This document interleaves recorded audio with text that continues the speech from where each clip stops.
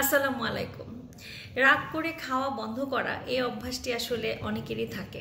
এটা খুব বাজে একটি অভ্যাস, আমি বলব এটা একটা বোকামি প্লাস এটা আসলে কারোরই করা উচিত না। চলুন আমরা আজকে জানি আসলে আমরা কেন এই কাজটি করি এবং আমরা কেন এই কাজটি করব না। বিশেষ করে ছেলেমেয়েরা অনেক সময় রাগ করে খাবার বন্ধ করে, বাবা মা একটু বকা দিলে বা বাবা মা কিছু বললে, এটা তারা বাবা মার অ্যাটেনশন পাওয়ার জন্য আসলে করে। মানে খাওয়া বন্ধ বললেই আসলে বাবা মা খুব অস্থির হয়ে যায় বাচ্চাদেরকে খাওয়ানোর জন্য। কিন্তু এটা আসলে বাচ্চারা বড়দের থেকেই কিন্তু শিখে। বাসায় কোনো না কোনো মুরব্বী বা কেউ না কেউ এই কাজটি আসলে করে থাকছেন, যেটা থেকে বাচ্চারা এটি শিখে। এটাতে বাচ্চাদের নিউট্রিশন অবশ্যই প্রবলেম হবে। যদি এটা আস্তে আস্তে তার অভ্যাসে পরিণত হয় এবং প্রায় সেই কাজটি করে, তাহলে এটি বাচ্চাদের জন্য অবশ্যই ভালো কাজ নয়।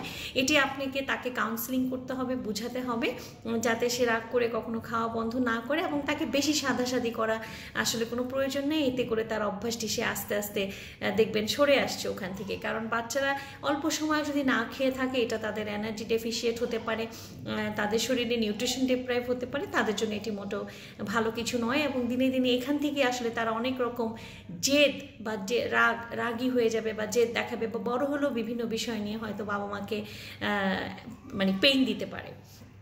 এছাড়া আমরা অনেক সময় আসি যে বাইরে অফিসে কারোর সাথে কিছু ঝামেলা হয়েছে বা ফ্রেন্ডের সাথে কিছু হয়েছে, বাসায় এসে আমরা অনেকক্ষণ না খেয়ে থাকি, রাগ করে।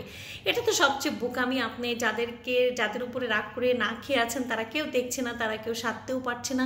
আপনার জেদ, আপনার সাইকোলজি থেকে আপনি না খেয়ে আছেন, এটা খুবই খারাপ। এটাতে আপনি নিজেকে আরও ডিপ্রেশন নিয়ে যাবেন, এটাতে জেদ আরও বাড়তে থাকে, রাগ আরও বাড়তে থাকে। মনে রাখবেন, খালি পেটে খিদে পেটে রাগের মাত্রা কিন্তু আরও বাড়ে। সুতরাং আপনি আপনি কখনো এই কাজটি করবেন না? বাইরের কারোর সাথে যদি কোনো ঝামেলা হয়, রাগ হয়, বিশেষ করে অফিস কলিগ অথবা ফ্রেন্ড যারা আপনার সাথে বসবাস করছে না তাদের সাথে আসলে এই রাগ করে তাদের না পাওয়া যাচ্ছে অ্যাটেনশন না তাদেরকে জানানো যায় যে আমি কিন্তু এতক্ষণ না খেয়েছিলাম। তাই ভুলেও এই কাজটি কেউ কখনো করবেন না। এটি আসলে আর শারীরিক ক্ষতি করে। এতে করে অনেক সময় দেখা যায় অনেক মানুষ আছে এত বেশি ইমোশনাল পানি পর্যন্ত খায় না, যে যার ফলে ডিহাইড্রেশন হতে পারে, সেখান থেকে ইউরিন ইনফেকশন হয়ে যায় অনেকের, অনেকে আছে না খেয়ে থাকার ফলে উইক হয়ে যাচ্ছে, দুর্বল হয়ে যাচ্ছে, পরদিন তারা ভালো কাজ করতে পারছে না তারা তাদের খিদা কন্ট্রোল পরে করতে পারে না। এভাবে করে যখন অনেকটা সময় না খেয়ে থেকে আবার খায়, সেই খাবারটা কিন্তু শরীরে আসলে জমে গিয়ে এদের ওজন বাড়ারও একটি কিন্তু সম্ভাবনা থাকে। তৃতীয় আরেকটি ক্যাটাগরি হচ্ছে সম্পর্কে বাসায় অনেক সময় স্বামী, স্ত্রীর সাথে বা বাবা মারা মুরব্বীরা এই কাজটি করে থাকেন। কিছু হলে তারা রাগ করে বলেন, খাব না। তাদের উদ্দেশ্যে বলা, বাবা মারা তো অবশ্যই কাজটি করবেন না। আপনার বাচ্চারা সেই সেম জিনিসটি শিখবে এবং মুরব্বীরাও করলে কিন্তু বাসার ছোটরা সেটি অ্যাড্রেস করে এবং সেটি তারা অ্যাডাপ্ট করে এবং সেটি তারা পরবর্তীতে তাদের জীবনে করে। তাই মুরব্বীরা এই কাজটি আরও বেশি করবেন না। তাদেরও কিন্তু শরীরে পুষ্টির প্রয়োজন আছে। তাদেরকে না খেয়ে থাকলে অনেক সাদাসাদি করতে হয়। সেটা করতে গেলে ইমোশনাল কিছু ব্যাপার তৈরি হয় তারা অনেক কান্নাকাটি করেন।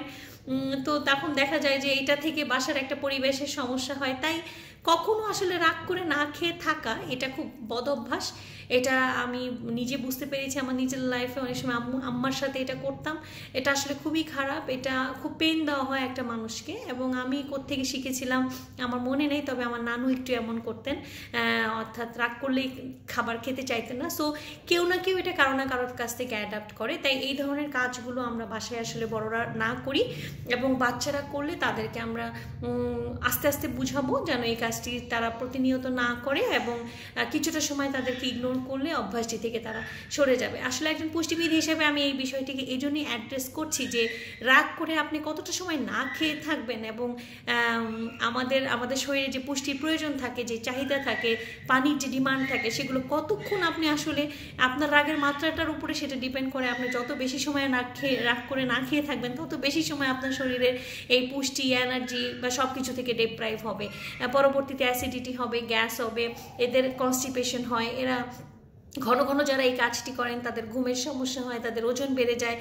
তাই দয়া করে এই পচা কাজটি কেউ করবেন না। রাগ করে খাওয়া বন্ধ না করে, বরং রাগ হলে আপনি খেয়ে দিয়ে এনার্জেটিক থাকবেন যাতে আপনি যেই কারণে যার সাথে রাগ করেছেন, সেটা আপনি পরবর্তীতে তার সাথে মোকাবেলা করতে পারেন। সবাই ভালো থাকবেন, সুস্থ থাকবেন। ছোটোখাটো এই বিষয়গুলোকে মাথায় রাখবেন। আল্লাহ হাফেজ।